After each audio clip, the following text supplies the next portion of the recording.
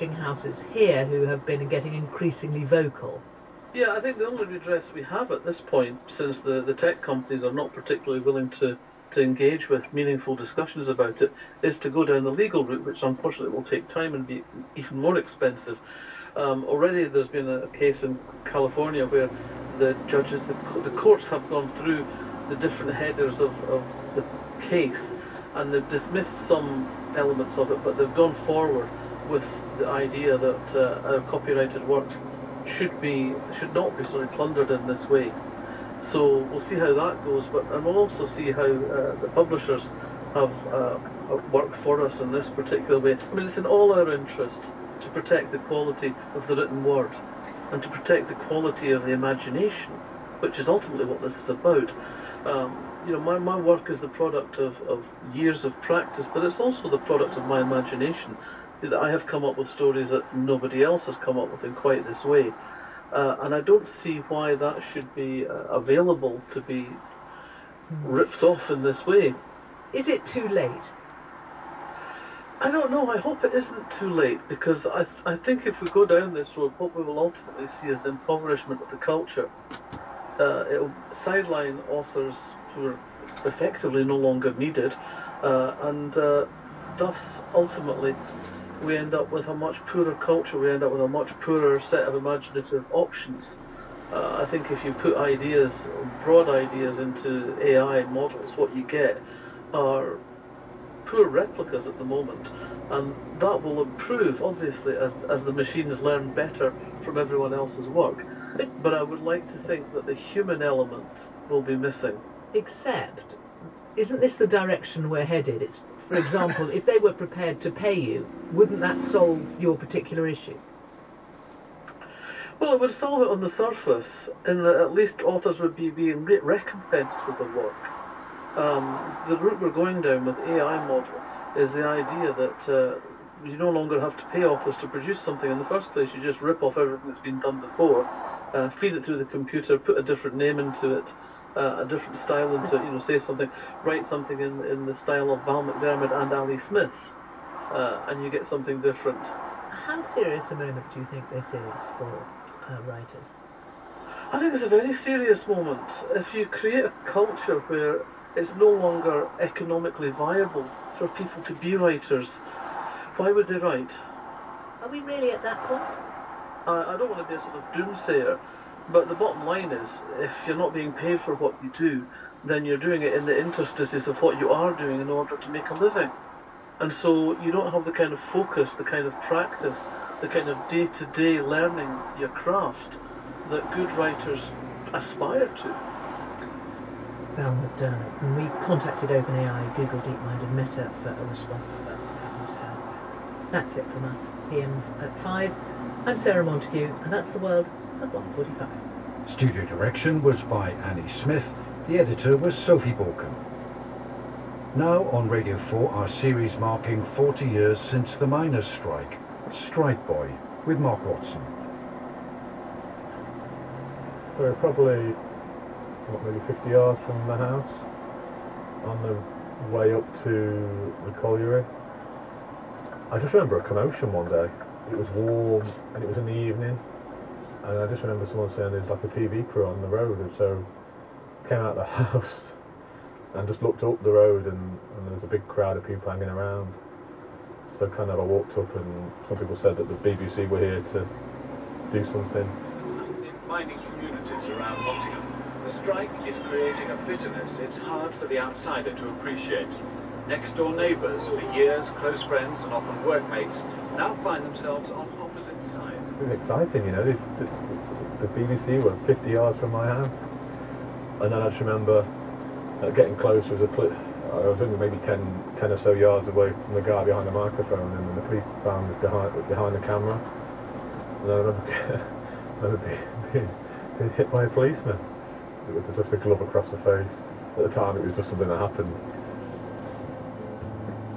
I'm Mark Watson. I'm the son of a striking Nottinghamshire miner, and I was 11 years old when my little mining village was full of police 40 years ago because of the strike. Ever since I was a kid, caught up in the excitement of it all, I've I've wanted to find out what really happened back then. I'm not a journalist or a podcaster. But the series is just me, a Nottinghamshire miner's son, trying with an open mind to make sense of what happened to my community and to the country.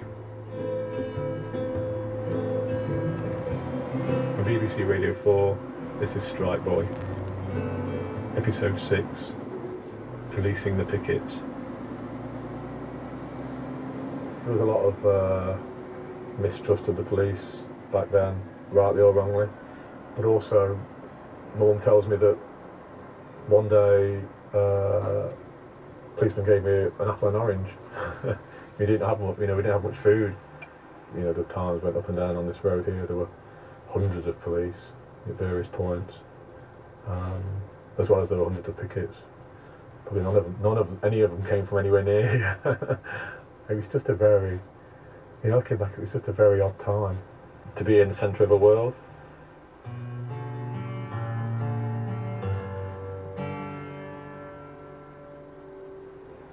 We're in uh, West Yorkshire. We've come to see a policeman who was uh, a policeman in the strike and the disputes. It'd be interesting to sort of understand his view of the strike. Hiya. Have we found the right house? Yeah. Simon, good to meet you. Nice to meet you, Mark. Thank you very much. This is just giving me a bit of credibility, is this, before we start? That's me getting my long service award from Lord Lieutenant of Justice. That. And that's my certificate of loyal service. And it says on there, conduct assessment exemplary. And everybody who read that says, how the hell have you got that, Maps? I said, well, you're just a little bit clever if you don't get caught.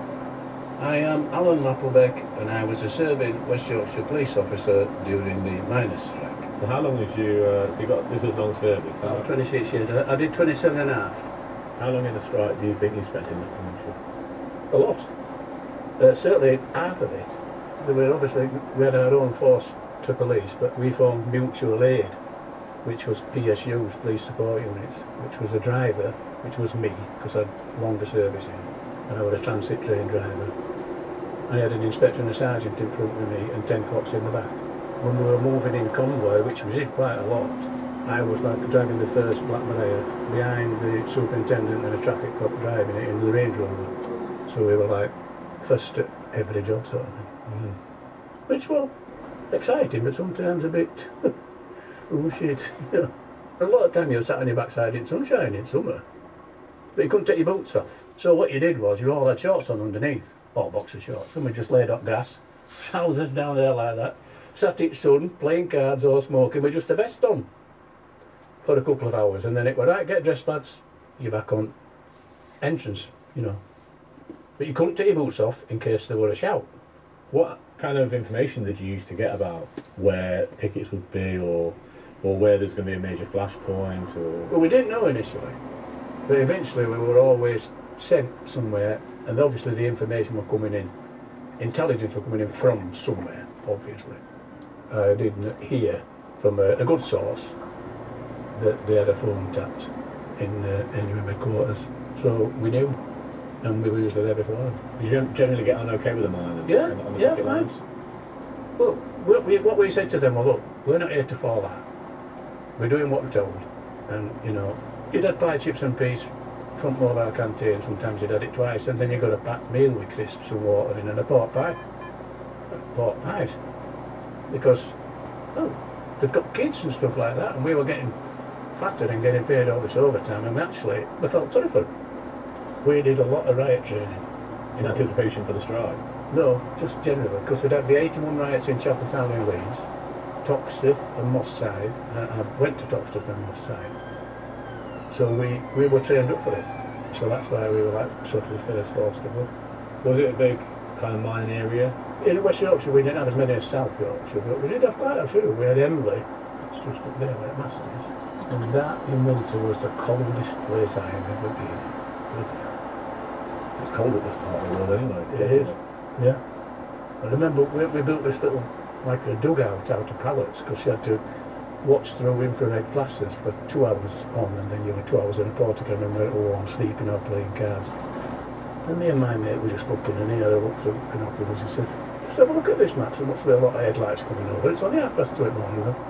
Headlights, more headlights, more headlights coming from the Barnsley area. I thought, shit, this is a big picky. And we were like a cork in a bottle at the top of this lane. There were thousands of them and about 400 of us. And then they started throwing potatoes at us out of this field. And then we realised potatoes had six inch nails in them. So we then had to get policemen's helmets off, NATO helmets on, and visors down. And I ended up stuck. And my feet were off floor for a, a few minutes. And I ended up with hyperventilation. So they pulled me out and uh, took me into pit area. And there were a miner who had pneumoconiosis they used to get, miners. It was the chest. And I was in an ambulance with him, and there were five ambulances going to Pinderfields, and they thought he were dying, and I was in an ambulance with him. So the motorcycle escorted us. A lot more frightening than hotels. We went crazy. Anyway, survived. How did you feel when you were sort of when you were getting potatoes lobbed at you? Oh, I wasn't that happy. I mean, they threw bottles and stuff and bricks at us. When you were working 12 hours a day up in uh, West Yorkshire or South Yorkshire, you were working 12 hours a day plus an hour either end travelling to get to where you were going. So you were working 14, sometimes 15 hours a day. And if it were your day off, you were on time and a half. And if it were a bank holiday, 15 hours at double time. That wasn't bad. And that's why there's a lot of Scargill suites and stuff like that in people's houses. Because they're knocking some money out. What's a Scargill suite? An extension called the Scargill suite. Or like a big conservatory. It's a regular thing. So they call the cop Scargill suite because Because it was built on overtime. because it was built on over time. Courtesy of Margaret Thatcher and Arthur Scargill. I mean, that's not just, I guess, typical for West Yorkshire. There are forces from the rest of the country coming. Oh, right. Well, the Met came in the little green buses, and they were just a joke. When they got out at the van, they were always scratching their backside and yawning and lighting a fag. They were just showering rubbish. Like the Met burning £20 notes. You, you've heard that, haven't you? I've not heard that. Stood in lay-bys with their little green buses and went pickets and going past it cars, waving a £20 note and setting fire to it. What do you think about that? Well, ridiculous. Job were had enough, was it? What? Uh, Most of the time it were jocular with miners, but Orgreave got a bit naughty. This afternoon at the Orgreave Coke Works was a level of violence not seen on British streets in any recent industrial dispute. Orgreave were a bit different. When the big push came at Orgreave, there were uh, porta cabin which had wheels on set fire and pushed down the hill. Then ramming shields with a telegraph pole. I did get hit with a brick and got uh, knocked over. It hit me on the shoulder. How did you feel at Aubrey? Orgreave, when the, when the coking wagons were going out and there was a big push from then, it was a bit frightening. And then some of Bobbies had, well, you've seen it up telly, had break ranks and they were told not to. And then they're running all over and eating each other and kicking each other. There's no way I would doing that. Are these guys panicking or are they just are they aggressive? I think they were merely panicking, but some of them were just red mist. You know, they'd, they'd lost it. You've been stood behind that shield for God knows how many hours. Can you do uh, know of any sort of examples of or heard of anything where there's just sort of s- kind of summary justice been? been Oh yeah, there were a lot of people hit with a truncheon and not arrested. But then again, there were a lot of cops kicked in the goalies, and a couple of cops who ended up on the ground at Orgreave, as you may see on telly, got a kicking when they were on ground, and we had to go fetch them back. You know, because I were part of a little three-man or four-man snatch squad, which went out like in a shape like that with the short shield, just to bring somebody in who were injured or bring a prisoner. There's some people that sort of said that the army were involved with the police during the strike. Do you, can you Well- remember that?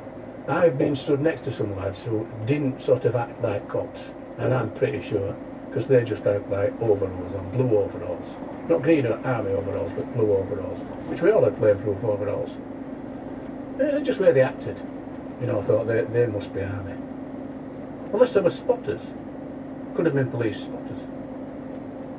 Because everybody were watching for us getting into trouble as well by overreacting. Do you ever think at, at the time that you were politicised in a way? So you became, you just became moved from sort of law enforcers to being given more powers? No, I think we were used, you know, publicly uh, by being moved en masse, and I think government wanted us to be there in big numbers, so that everybody saw it, and that she wasn't giving in. So I suppose that was one of Margaret Thatcher's handmaidens. But we just had to do as we were told.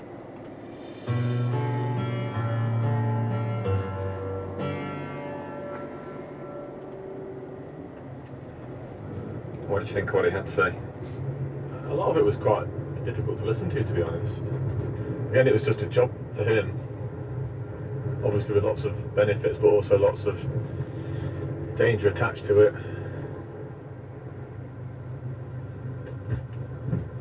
The, miners on strike on one side and not getting paid and struggling to feed their families and the police on the other side, get fed at regular intervals, and then in lots of money to pay for extension on the houses. But, you know, also giving food to the miners as well. They're good and bad on all sides. I think it's a human a human dispute as well as a industrial dispute. I think it sort of does bring out the best and, and worst in people still 40 years on, it's difficult to to hear it. And that's from me, who was technically a bystander, really, in it.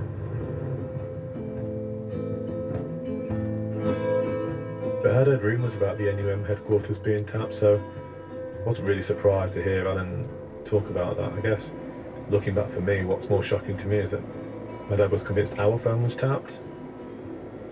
I guess as a kid, it didn't really seem to bother me. It sort of felt normal in a way. But you know, if I found out my phone was being tapped now, I'd, I'd really be worried. Next time on Strike Boy, the Battle of Orgreave from the other side. He fetched it down up lad's top of his head, it went whack. And I remember seeing this young lad putting his hands on top of his head, blood spluttering out all over, and then collapsing like a stone to the ground. Strike Boy was presented by Mark Watson and produced by Simon Mabin. And tonight Radio 4 revisits the story of the arson attacks on holiday homes and estate agents in Wales in the 1980s. Who were the terrorists Meibion Glyndŵr, the sons of Glyndŵr, and how did they escape arrest and conviction? Home Fires tells their story at 8 o'clock. Radio 4's journey from fertilisation to first birthday continues. There was a woman, and now there's an entire new human who's arrived into the world through her body. It's just mind blowing. I'm exploring how science, society, and history have shaped our approaches to childbirth. I know women will put their body through anything for the best of the baby, but that doesn't mean that they have to. Child, with me, India Rakusen. I got the nurse to show me the placenta and then took a photo because I just think it's just such an amazing thing. Continues next Monday to Friday afternoon at 1.45 on Radio 4 and BBC Sounds.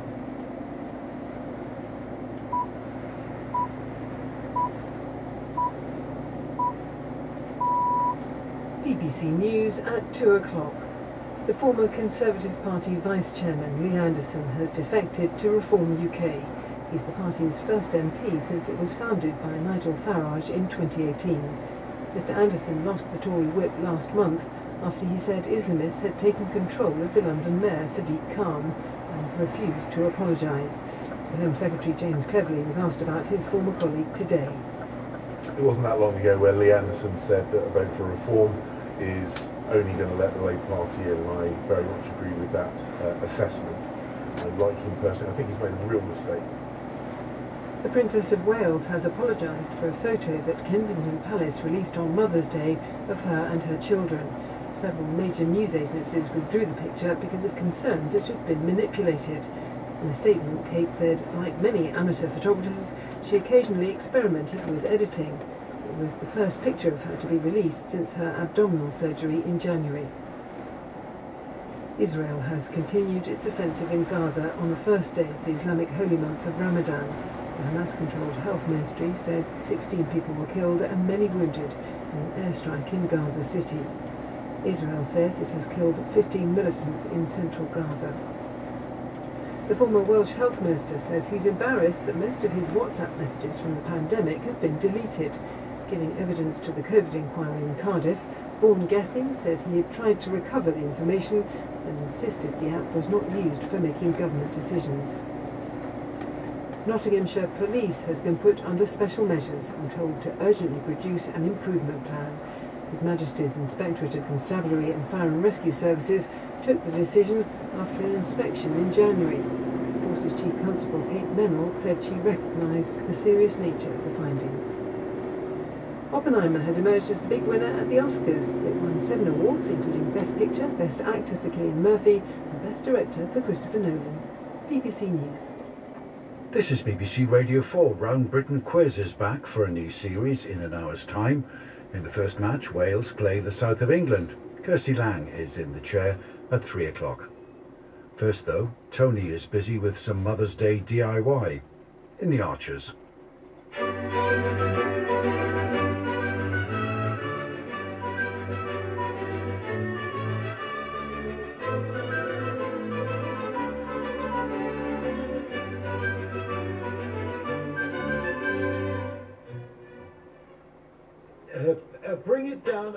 Couple of inches, would you, George, in line with the top of the window. Is that better? Yeah, yes, that's it. Now make a pencil mark where the screws need to go. There and there. Okay, great. Now, carefully pass me down the hide. There you go. That's it. Where's the other one going? I think Natasha says she wants it over by the counter. Oh, they're going to look great. Are they actually from the Bridge Farm Angus's? Well, no, these ones are bigger than an Angus hide, but I went for the best colour match rather than size. I didn't think they'd be so soft and glossy. How are you going to stop people from stroking them? Well, I think we should encourage it. The colour, the warmth, the well, what would you say? The, the whole tactile charm of having hides on the wall. It's part of their attraction. Back to nature and all that? Yeah, back to a relationship between food and farming that gets lost. What with great long supply chains and supermarkets, we're saying that here at Bridge Farm Teepham we don't need to conceal the fact that meat comes from an animal. And to respect that animal, we should be using every bit of it. Except these hides aren't from cows. Uh, no, but they could be. Tony, What's up, Fallon? Everything all right? I thought you said you'd be finished by now. Our first Mothering Sunday bookings will start turning up soon. I don't want the sound of drilling while we serve Simnel cake to frazzled mothers. No, of course not. Sorry. We'll, we'll get this one up quickly and pop back on Tuesday to do the one over by the counter. By the counter? Well, I thought we'd agreed you'd keep them to the seating area, not hanging over the food. Just following Natasha's instructions. Have a word with her if you like. Um, no, it's fine. Whatever she says. I think they're going to look marvellous. I'm worried they'll make the room darker. What do you think, George? Um, I mean, they're nice, but also, uh, yeah, I agree with you there, Fallon. They are quite dark. This teacup is beautiful. It's lovely to drink out of. It was between that and a ceramic Wellington boot with a face. Odd choice. I took Martha to that vintage charity shop in Felpersham to pick something out for you. Ah. That cup and the weird boot man were the two things that caught her eye. Well, maybe we can get you the boot man for Father's Day. Yeah. Chris? Is everything alright? Yeah, of course. Anyway, we'll get off now. Let you get ready for your afternoon tea with Kate. Oh, that's if you can persuade Martha to abandon her game. I mean, she's got that beautiful doll's house to play with, but instead she's building a hospital for bugs out of toilet rolls and yogurt pots. We can take it with us to my mum's. Well, wish Susan a happy Mother's Day from me. I will do. And I was thinking about your mum this morning. Thanks, Chris. She was very fond of you. Are you sure you're okay? Yeah. But, um, But what? There is something, but can we talk about it tomorrow? What is it? I didn't want to say. Not this weekend with Martha's birthday and Mother's Day. But you can't admit something's wrong, and then expect me to leave it. Look, let's talk tomorrow. I, I thought things were good between us. We're doing really well, aren't we? Are we? Yes. What's this about, Chris? It's about Harry. I know about it. What? What do you know? Helen, we're nearly done.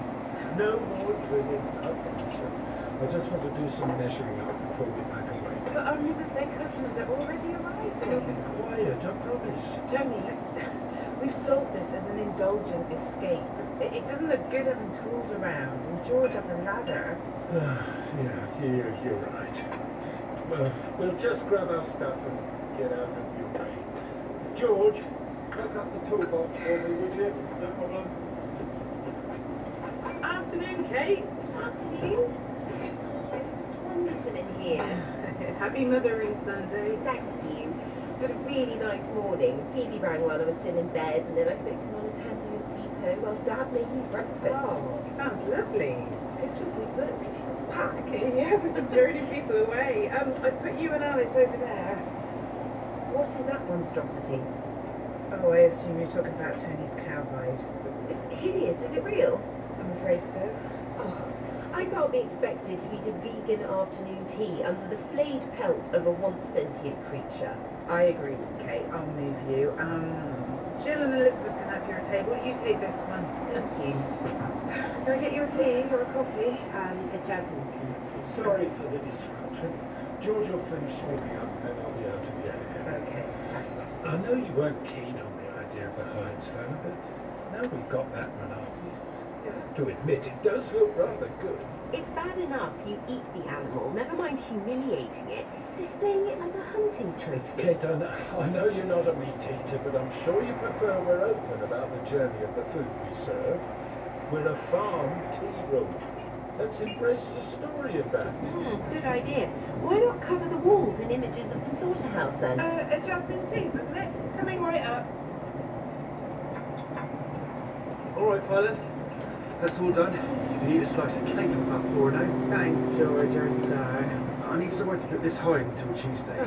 I don't care where it goes, as long as it is nowhere near the kitchen. Guessing you're not a fan. It Doesn't matter what I think. I just hope more customers aren't put off. Oh, maybe Tom and Natasha want people to make a fuss. Get them talking, like this will be their USP. Hmm. You know what a USP is? Yes, of course I do. I've been on all the business courses. You know how to jump through the hoops for rural grants, smart targets, KPIs, all that jargon. Well, all I can say is they must be making a mint if they can throw 400 quid at a couple of cowhides. Is that what they cost? Yep, 200 pounds a pop. Oh well. it's not my money. Harrison shouldn't have told you that. I Thought I knew. Anyway, don't have a go at Harrison. From what I've heard, he's really stuck his neck out for you. I wasn't having a go at him. He's been brilliant. I just. I wish you'd have said something at the time. And that's what you're going to focus on. Look, I, I was going to tell you, but it just didn't seem like the right moment, and, it, and it's embarrassing. Look, I knew there was something wrong with you. Well, I needed time to think about it. Silent fume. Look, I, I know it's a shock, but trust me, if anyone should be full of resentment that the man I thought might actually be nice was, was in fact a liar, then it should be me. And he's the only one, is he? That's a liar. I haven't to you. You lied about why you split up with him. Keep your voice down. Martha. You didn't think to mention he got arrested while driving a car wasted. I didn't know he was a drinker. Come on, Alice, you're an alcoholic. You must have known. A recovering alcoholic. And no, I didn't. You must have spotted the signs. Oh, well, you know us addicts. We're very good at hiding it. Yeah, you said it. I can't believe you're being like this. Did you drink together? Is that why you liked him? You've been drinking this whole time? No, stop it. Sorry, I shouldn't have said. It's actually none of your business. Any of this. is my mess. Why would you care? Because of Martha. And you, you're my what? You, not, you're my ex. When Harrison told me, I thought I was going to be sick. Yeah, well, imagine how it felt for me. I liked Harry. I don't want to know. I don't want to hear anything about that now. Are you angry at me? Yes, no, not at you, but at this.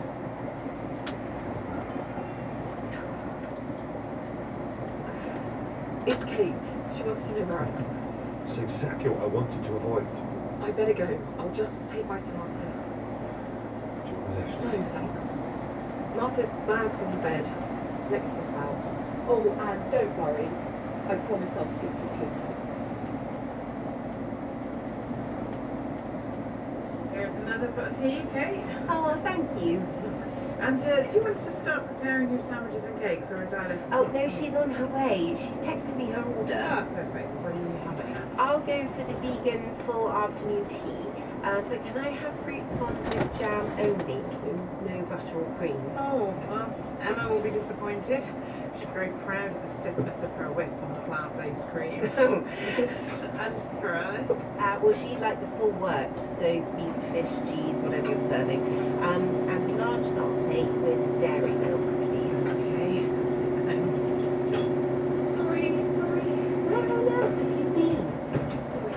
Don't ask. Well, I've drunk so much tea that nature is calling. I've ordered yours. Thanks. Oh, Fallon. Wait a minute. How are you? How are things, you know, with Harrison? Uh, he's trying to keep busy. He's focusing on the cricket. Oh, that's great. But I can see he's struggling. Of course. He said Martha's birthday tea was nice. Yeah, we missed you there. Thanks for the doll's house. That was an incredible present. It was unbelievably generous of you. Oh, that was all Harrison. I didn't even know he was getting it. Oh. Anyway, I better get on. I've got your afternoon teas to make. Of course, yeah. Fallon, Yes. uh, have you been interviewed yet? No. Uh, they said it will be sometime this week. Right. Good luck. Yeah, thanks. I had an informal interview yesterday. On Martha's birthday. Well, I wanted to get it over with. Right. Well, uh, I need to get on. I'm really sorry about all this. Yeah, I know. I wish I could go back and Look, we just have to get on with it now. Hope for the best. And there I was, thinking you were meant to be the punctual sister. Sorry, Kate. I will explain why, but for once, I'd like to be the sister who's neck deep in drama. Don't be ridiculous. Sit down. Tell me everything. I'd rather talk about anything else, to be honest. Well, if you're sure. Uh, would you rather hear about Jakob refusing to talk about whatever's happening at the vets, or how Sabrina Thwaite brought her dog for a massage at Spiritual Home on Friday? Oh, I don't know. Or I could tell you exactly how many times Dad has complained about the weather and the replanting. Oh no, it's not that. He's reacted to every conversation he's had with Stelson. I love him to bits, but our mother must have been a saint to live with him all those years. so come on, tell me what happened. No, really, it's nothing. Is it Harry? No. Then yes. Chris found out about his arrest. He's really not happy about it. And how is Harry getting arrested your fault? Why should have been less stupid, less gullible, less desperate to believe that something might work? Alice, stop. This has been awful for you, but you're not to blame. It's not what Chris thinks. We had a horrible row. I couldn't even do that properly because Martha was in the next room. Oh, forget Chris. This is the time to concentrate on your own journey of healing. I can't forget Chris when I have to see him practically every day. It's hard enough when we're getting old. An atmosphere, everything's going to be so difficult. No, you're right. You can't forget Chris. You obviously need to find a time to talk to him when Martha isn't around, but you also need to look after yourself. We need to find you a fun distraction. Yeah. I'm actually okay. What I really need to do is go over to the forge tomorrow and sort this out.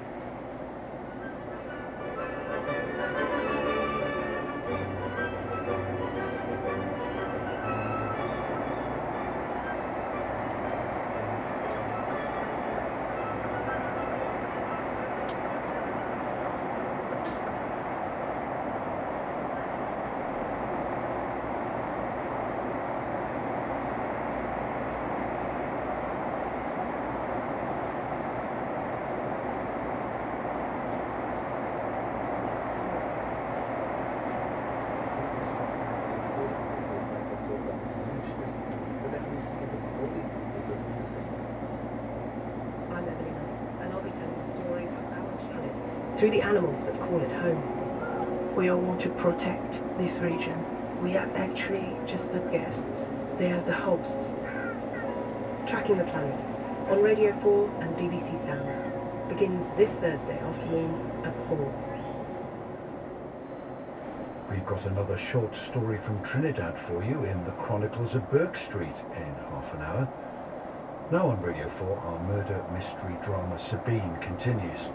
Ellie has found a USB drive of secret recordings Sabine made before she died. Sabine by Mark Healy. Episode 4.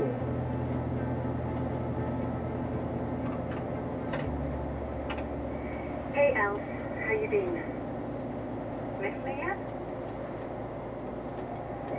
So, you found the USB stick.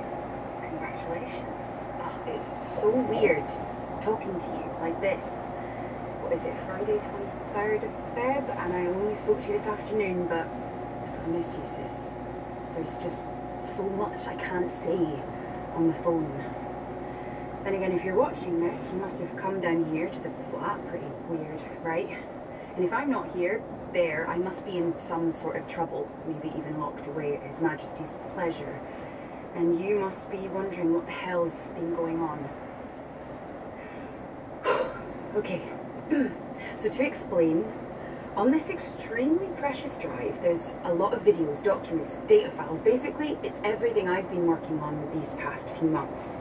Now, I know I haven't told you or Ma about flunking out of uni, but you have to trust me. What I'm doing now is far more important. Basically, I've been working with an activist group against the multinational oil and gas company Invacor. They've got their claws sunk deep into governments all over the world. Main headline, we've got a big operation against them coming up.